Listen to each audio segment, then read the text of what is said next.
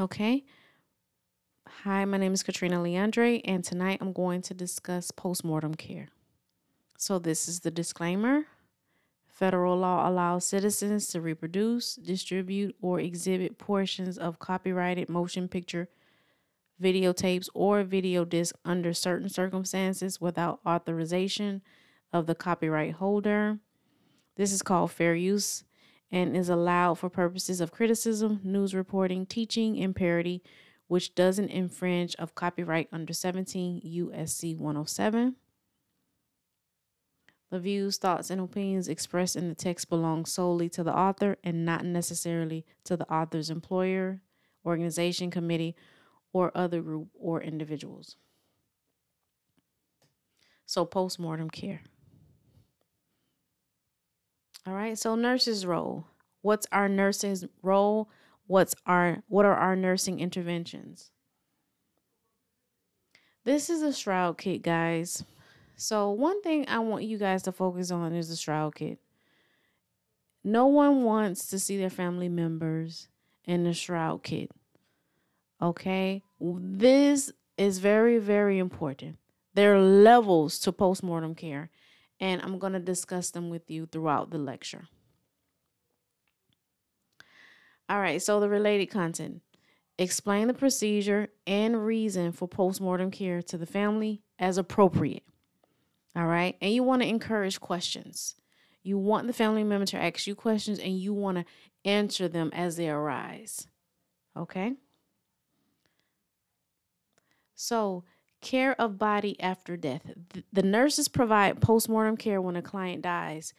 Dignity and sensitivity to the recently deceased individuals should be maintained. And all postmortem care must be consistent with the client's religious or cultural background. So it has to be consistent with the client's religious or cultural background. So this is something that we definitely need to know as a nurse. It is important that care is provided as soon as possible to prevent tissue damage or disfigurement of the body, but we never, ever, ever want to rush the family. Ask the practitioner, guys, or other designated team member to establish the time of death and determine if the practitioner has requested an autopsy.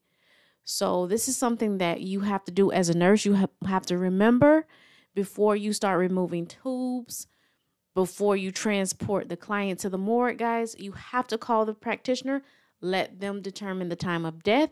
You tell them the time of death, and you have to ask the, the nurse practitioner or the physician is this patient a coroner's patient? Does this patient require an autopsy? Remember, guys, the time of death is very important. It has to go on the death certificate. Okay. And you have to make sure that you are aware or you ask the physician is this patient a coroner's case? Does this patient require an autopsy? So, determine if the patient has first person consent. Is listed in the do the donut the Donate Life Registry, or if his or her surrogate has been asked about organ and tissue donation. Now, this will be with a transplant um, representative. So, um, we provide therapeutic communication, but this is definitely something that we need to know. We need to know if the patient is going to donate organs.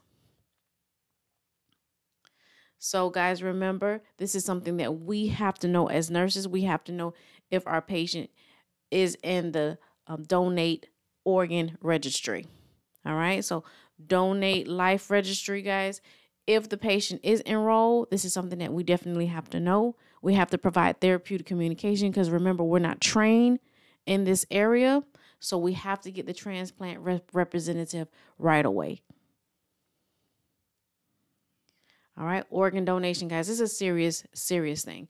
So, for nurses, we provide therapeutic communication, and we have to make sure that we contact the transplant represent, representative right away. So, determine if organ tissue donation, permission for autopsy, obtaining death certificate, and the client's family is now the nurse's primary focus. So this is definitely when the patient dies, guys, we make sure that we are providing therapeutic communication to the family member. We're meeting their needs. Okay. And we're also assessing if the patient is an organ donor. Um, we may have to let the family know about the autopsy. Okay, this is something that you have to um, be aware of. If the physician tells you yes, you have to let the family member know and let them know the physician will explain it further and obtaining death certificate, guys, that's really important.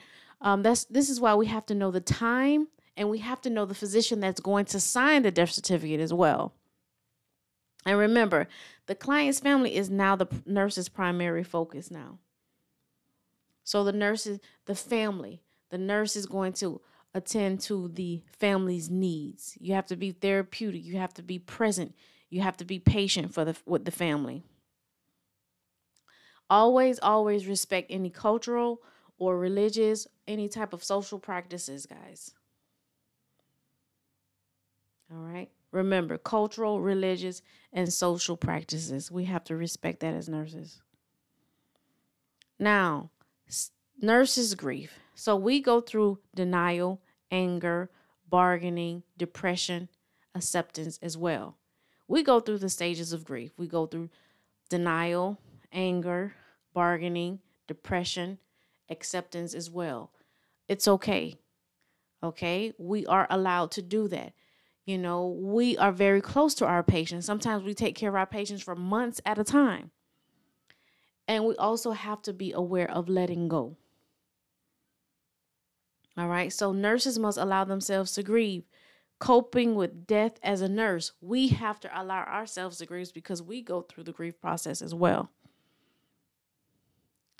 Underlining principles nurses must allow themselves to grieve as well, especially if they have cared for the client for an extended period, must be able to let go and find help, coping mechanisms for letting go.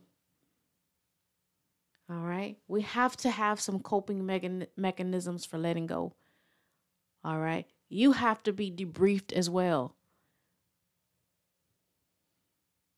So remember, we go through denial, anger, bargaining, depression, and acceptance.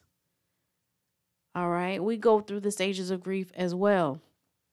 So, one thing that we can do to help let go, to assist in letting go, attend funeral services write letters of condolences to family, seek support from colleagues, and stress management professional counseling may be necessary.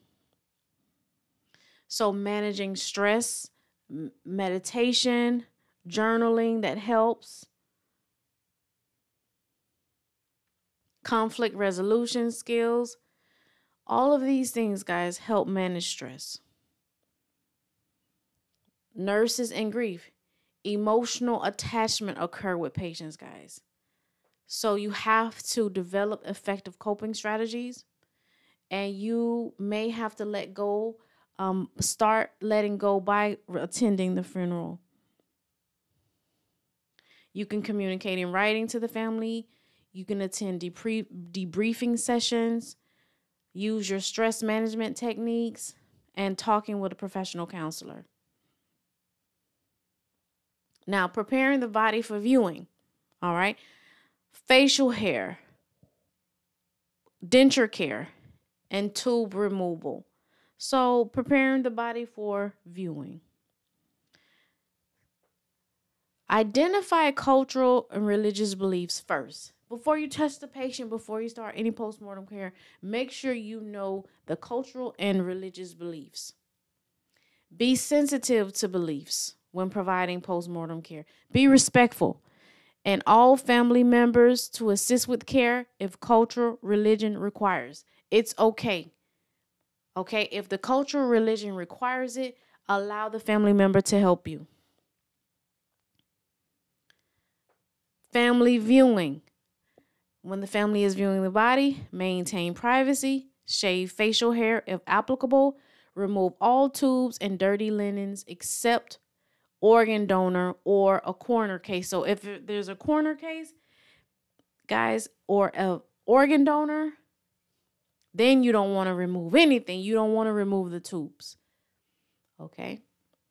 But if that isn't the case, remove all tubes and dirty linen. Okay.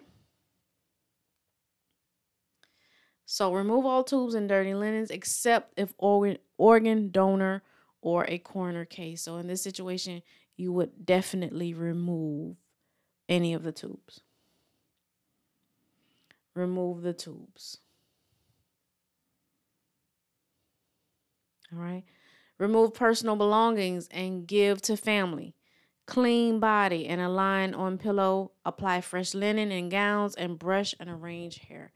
So this is for family viewing.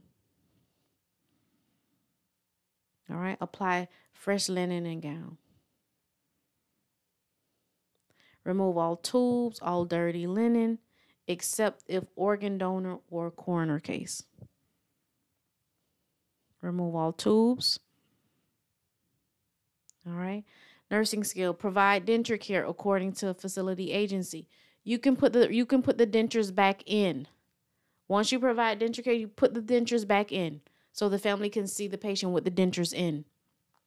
Position sheets below chin with arm out or per facility agency policy. Remove excessive equipment from the room. Provide, provide a calm environment for the family and dim lights if possible. So remember, denture care, you can put the dentures back in so the family member can see the patient with the dentures in. You can remove them once the family leaves. All right. Calm and dim room. So, family viewing allow family to visit with the body, honor the decisions, don't rush, and clarify who is take who is taking the client's belongings. Okay, and I'm gonna mention these belongings a lot. So it's a big deal. Clarify who is taking the client's, the patient's belongings. After the family has viewed the body. So you want to apply the name tags, usually a wrist, right big toe, and shroud. Be sensitive to feelings of visitors and staff during transport of body to morgue or funeral home. And this is just a visual. All right. A visual of a shroud room. Now, newborns, post mortem care for newborns. One thing I want you guys to focus on is collect mementos. So you'll collect the ID bracelet, the footprints, the lock of hair, the photos, the cord, clamp for the family, and you'll allow the family to take these items home. So collect mementos.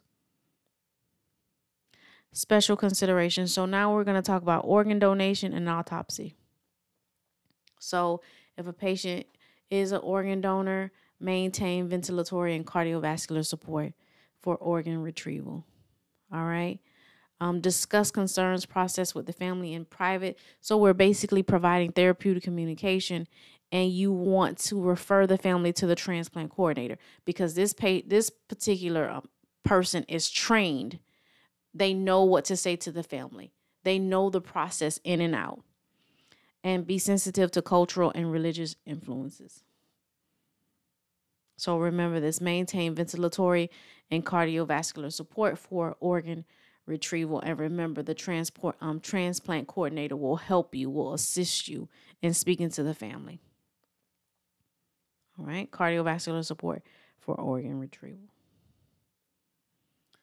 So autopsy, the physician the physician is usually responsible to discuss need for autopsy with the family. So you can answer questions, you can reinforce questions, but the physician will explain to the family.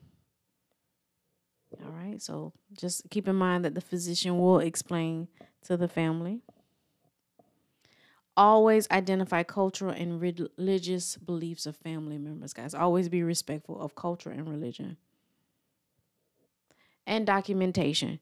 If worst comes to worst, you know the SOAPIE format subjective, objective, assessment, planning, intervention, and evaluation. So this these are all the things you have to document. Who pronounced death, time of death, organ donation, and there we go again. What was done with personal articles? That's a big deal. You need to document that. Who was notified? What decisions were made? Location of the ID tags, time body left facility. Documentation, time, the therapies, okay, responsibilities of care can be delegated appropriately. Who provided the postmortem care? You can add that. And prepare a body for viewing. Who prepared the body for the viewing? Make sure you document all these things personal art- articles left on the body, guys, dentures or glasses or jewelry taped to the skin or tubes and lines left in place. You want to document that. Appearance and condition of the patient's skin. Action taken to secure valuables and personal belongings. Who did you give the items to? Who did you give the articles to? And that's it, guys. Thank you. The PowerPoints will be in the description box below. Have a good night.